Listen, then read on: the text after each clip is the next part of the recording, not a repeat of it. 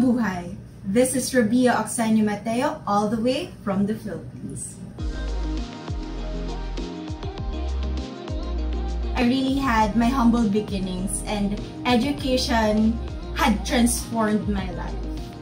Now I, am a teacher and I hope that my students will see the value of education the way that I saw it.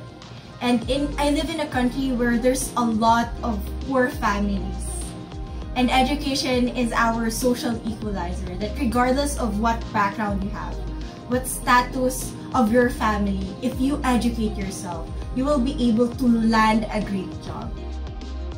If I will be crowned as your next Miss Universe, I will do my best to champion for other people because we need nowadays is not just a beauty queen with a pretty face, but we need phenomenal women who are not afraid to speak and to stand for the things that they believe.